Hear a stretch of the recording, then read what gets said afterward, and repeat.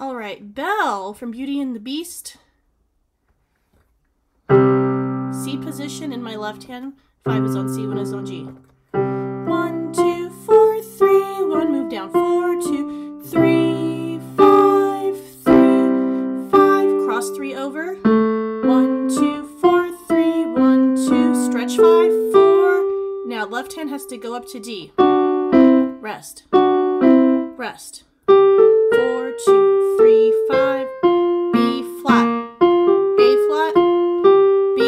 Stretch down to E flat.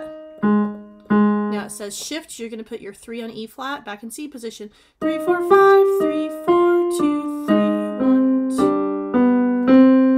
Now, here you're going to play four, three, sorry, five, four, three, two, one. And we have a little chromaticism here that kind of feels funny to put a finger on every note, but we can do that on piano to play quickly.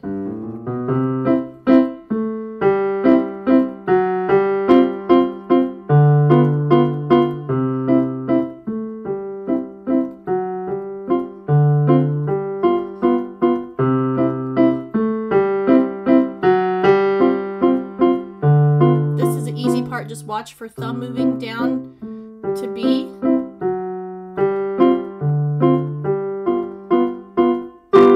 Now, at the end of this line, it says DC al coda. So we're going to go back to the beginning. DC means da capo, and that's Italian for go to the top.